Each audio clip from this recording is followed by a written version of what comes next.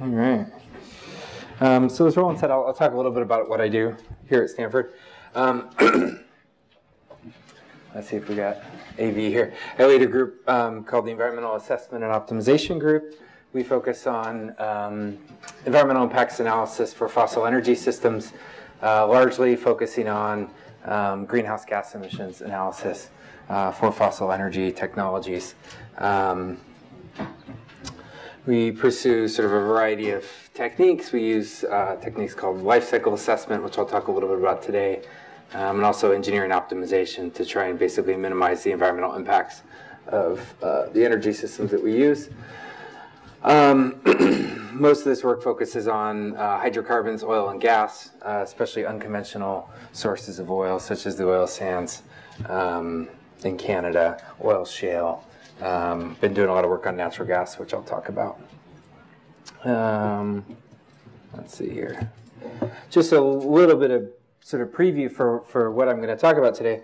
Um, what I'm going to talk about is not um, something that's been published yet. Actually, you guys are the first people to see me give a presentation on this. Um, we just submitted this yesterday, right before I came to talk uh, in the um, panel discussion. I can't, for that reason, because it's under review, I can't actually give you results. I can just sort of give you teasers and interesting things we dug up as part of the research. But I, I find that actually I much prefer to talk about things I'm doing right now than something I did, you know, 18 months ago, which has already been published. It's a lot more fun for me. So you guys will get sort of um, uh, the view the view from the ground about natural gas leakage, which is sort of what I talked about yesterday. Let's see if this works. This does work. Okay. Um, so a few points uh, about nat natural gas leakage, a general outline. First, I'll talk about why we might care about leakage from natural gas systems. I'll talk about what we think we might know, and by that I mean what is generally understood to be the case about methane leakage. I'll talk about why we might be wrong about what we think we know. Um, and then I'll talk about what we might do to improve our knowledge. And again, this is literally, well, it's not even hot off the presses. It's, it's hopefully soon to be hot off the presses. Um, so why should we care about natural gas? Uh, leakage natural gas is a large fraction of our primary, primary energy supply.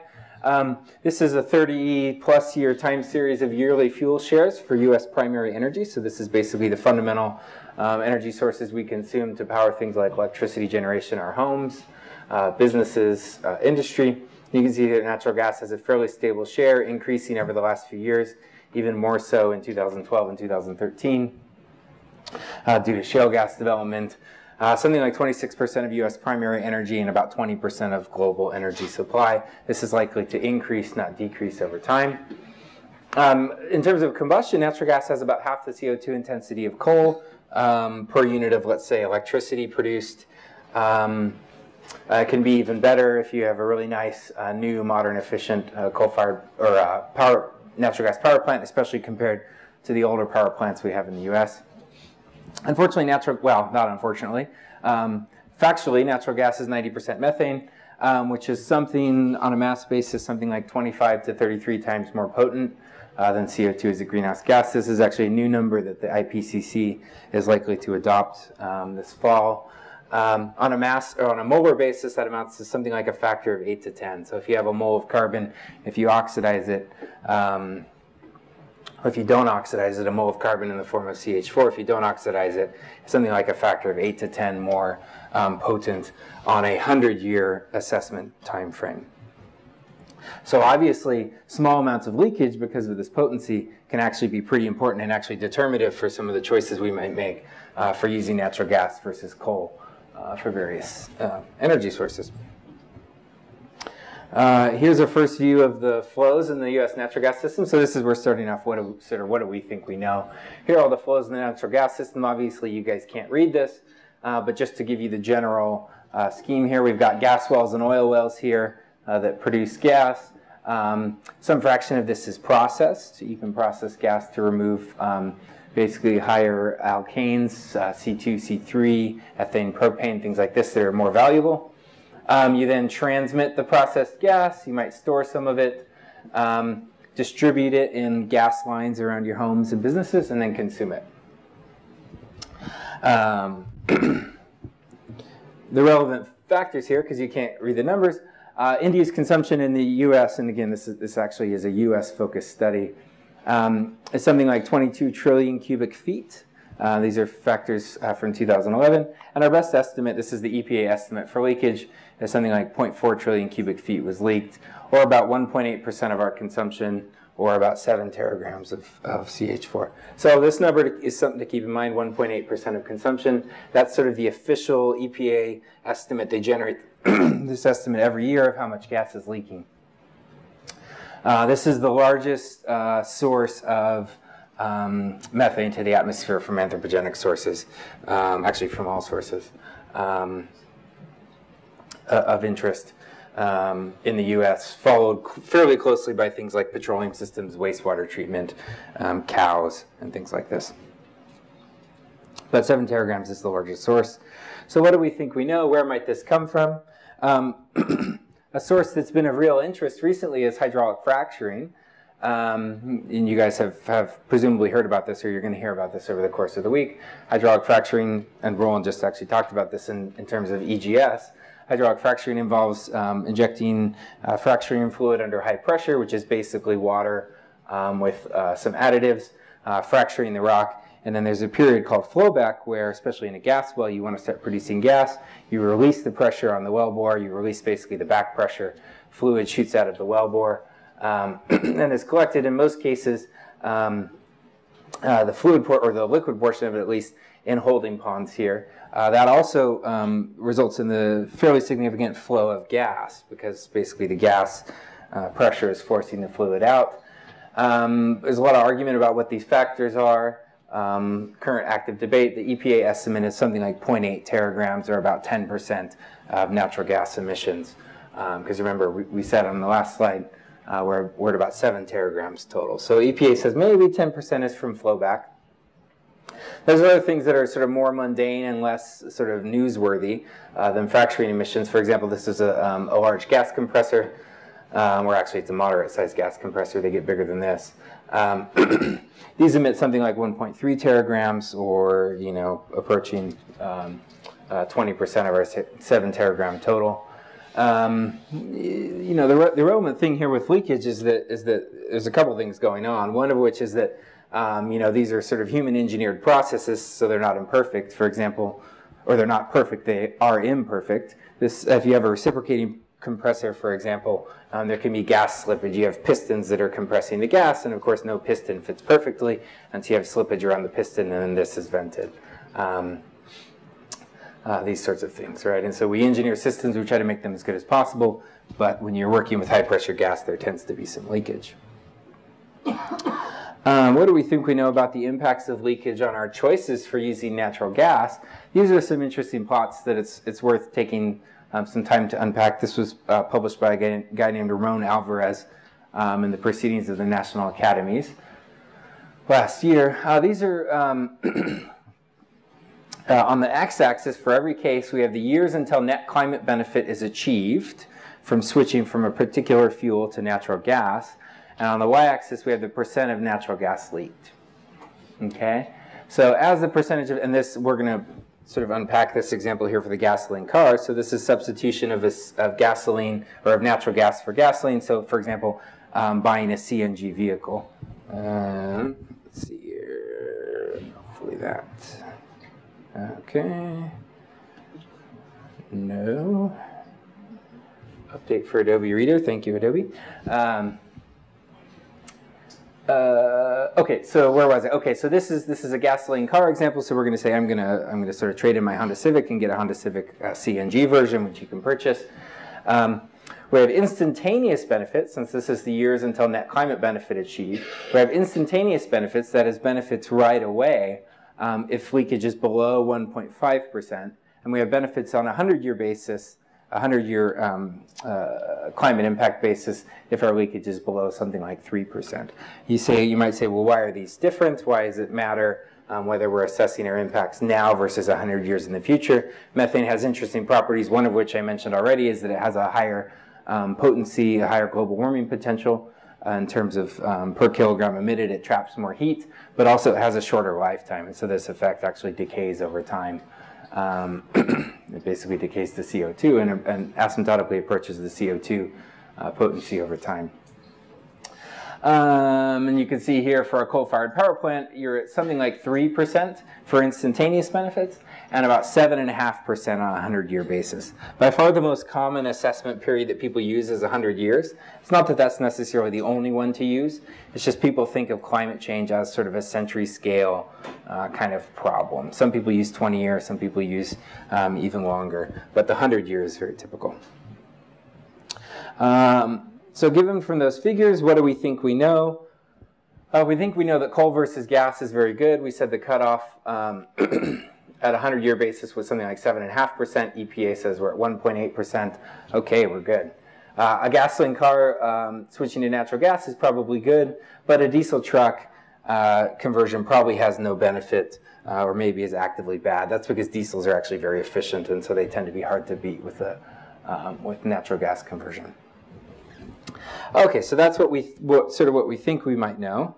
Um, the EPA inventory was completed, and actually, I, I, th I, think I started talking about this, but I don't think I finished it. This project, um, i was tapped to lead a team of about 15 scientists to review the state of the knowledge, basically the last 20 years of knowledge on natural gas leakage, and come up with a summary of sort of where we are. So some of this will be sort of what do we know from the literature because um, I can't really talk about the results yet, but I'll, I'll, give you sort of what we found from the literature. Um, the EPA estimates that I showed you, 1.8%, are largely based on methodologies um, that were developed um, in the early 1990s. Since then, there's been a number of studies. This is a study of, this is an early study in 2003 of these sort of new crop of studies where they looked at methane concentrations and they found a large plume over Texas, Oklahoma, and Kansas. Uh, their estimated leakage was something over two times the EPA leakage uh, for this region. So this was an early study. I'll just sort of run through these. This is a really interesting one. This was literally published maybe two weeks ago. This is a study from NOAA, the National Oceanic and Atmospheric Administration. This is in the Uinta Basin in eastern Utah. Uh, it's a beautiful place. I, I like the high desert. Um, it's quite nice. Uh, these are oil wells, these blue dots. These are gas wells. These are uh, black dots. This is the flight path flown. Woo, this would be very fun. I've never flown on one of these flights. I'd like to. Uh, this is a couple vertical transects they do. You like to transect basically the, the profile of the atmosphere to see what's going on vertically as well as horizontally. This is the sort of uh, mass averaged wind direction over the three hour flight period in red. And you can see downwind of the gas fields. You see elevated uh, CH4 concentrations in parts per billion here. Uh, you can do basically some fancy mathematics, uh, integrate um, basically the delta between upwind and downwind concentrations, uh, and you always have the um, wind speed measurements going on. And they estimate leakage of something like 6.2 to 11.7%. This is the second study out of NOAA in the last year that's found high leakage rates. Notably, not really high leakage uh, from, the nat, uh, from the oil wells, although they didn't really do a downwind transect of the oil wells, but over the oil wells is not um, not a big source there. Uh, here's a recent study. Again, these are all, this was late 2012. Uh, this is Los Angeles. They took a bunch of samples. They were flying the airplane around, and each of these dots is a sample they took. The color corresponds um, basically to, to natural gas concentration. Uh, these are guys from Caltech and JPL. Uh, they estimate leakage of something like 2.5 to 6%. This actually is even more problematic because downstream sources, that is our homes and businesses, were long thought to not really be major sources. This is not a big gas producing region. It's a, it's a reasonable size, size oil producing region, but it's not really a big gas producing region. And so if this is the leakage rate, then that means that our homes are perhaps much leakier than we thought. Um, this is a fun one. This is a study from uh, 2012, uh, I like to show this and sort of this is to, to make fun of you guys in the plight you're about to enter because you're entering graduate school. They say in the, in the paper, we drove 785 miles of roads in Boston. We, meaning a first or second year graduate student. I've been to Boston a number of times. I would not want to drive 785 miles of roads in Boston. Um, with a methane sniffer on the car. This is developed by a local company uh, called Picarro. Uh, they're actually in the South Bay. They have a very sensitive isotopic gas analyzer.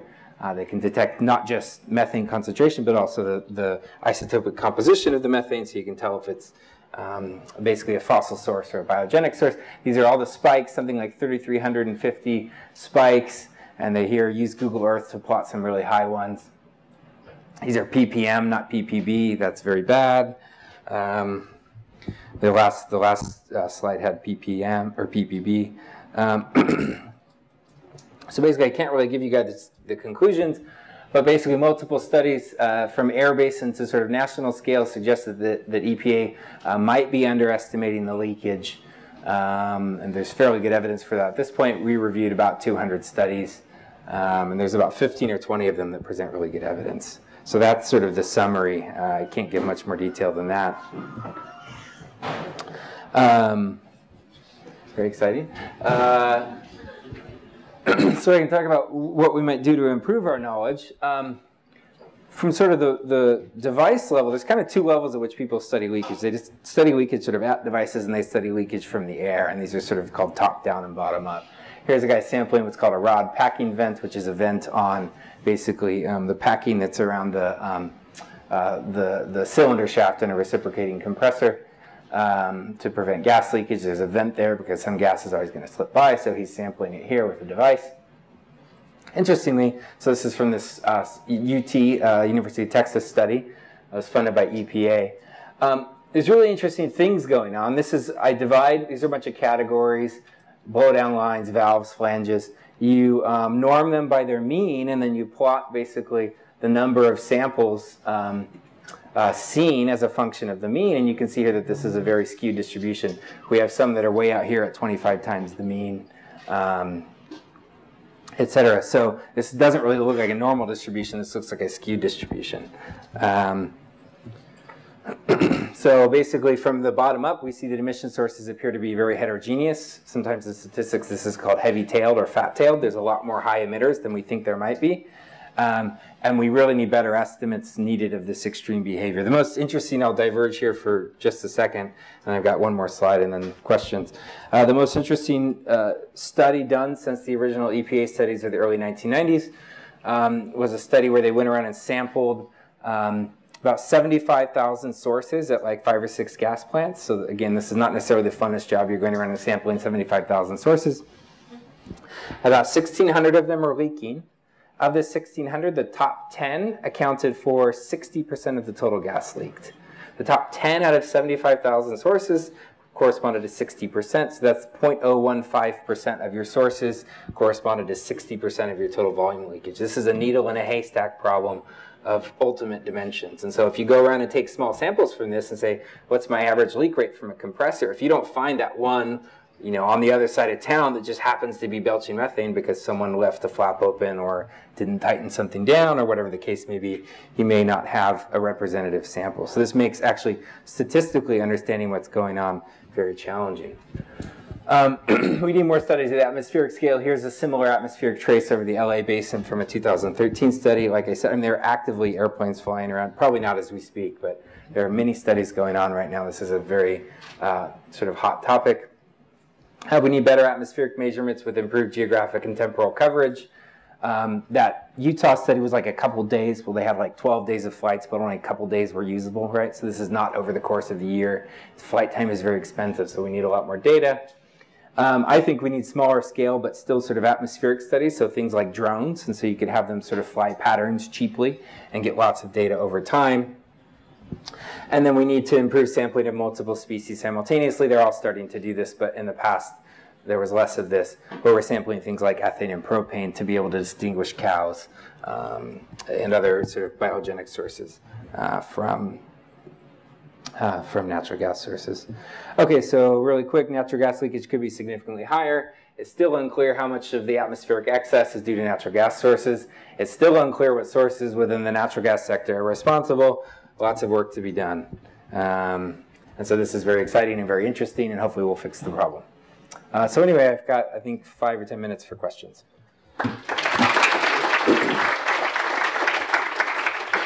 I'm sorry if I went too fast. I know it's the end of the day. It's at least cooler in here than it was yesterday. That was, I was on the verge of tipping over in my seat in case any of you noticed. It was pretty bad. Yeah. So in case you're right, and uh, the EPA is underestimating significantly this leakage problem, is natural gas making climate worse? Um, so that goes back to good question. it all depends. All these questions are always comparative. It's always worse compared to what. What else would we do to generate our energy? Um, Uinta Basin, they found sort of 6 to 11%. It's almost certain there's a variety of evidence at very large, like continental scales, like flying airplanes all the way across the country, that suggests that that just can't be typical. If that was typical, we'd see way more methane in the atmosphere. So you can really constrain it almost from the sort of um, continental, continental scale concentrations. There's no way, it's very unlikely, I don't want to say there's no way, it's very improbable that we're at these sort of levels, 7 and 8% on average. That's probably a very atypical case. So coal, uh, coal to gas switching is almost certainly um, a good deal. Heavy duty vehicles, not likely, and gasoline cars are sort of up in the air, is the short version. Yeah. So you mentioned that most of the gas leakage comes from like a few small sources.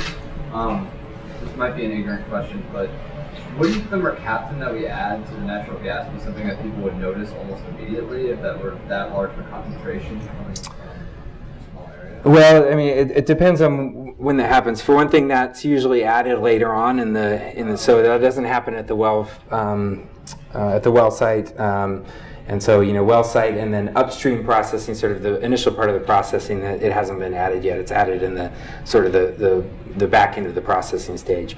Um, people do use that. Uh, one I'll call it low tech, but apparently effective method that I've heard people say that work at gas companies.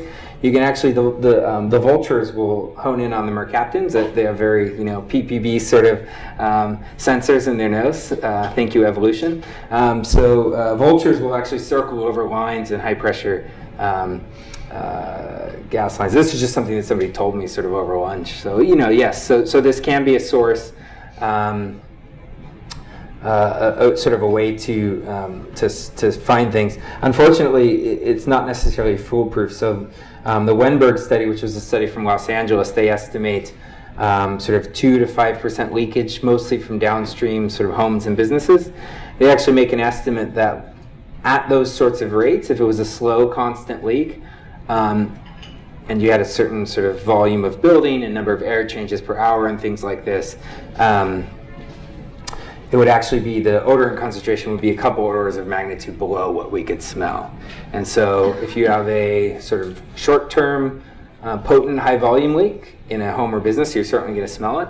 If you have just a few sort of here and there that are leaking a couple percent of your total gas consumption, then they speculate that perhaps you might not smell it. Road sniffers, so PG&E, especially in the Bay Area, they're driving all around um, uh, with sniffers, sniffer trucks. They were driving by my house the other day, a couple months ago.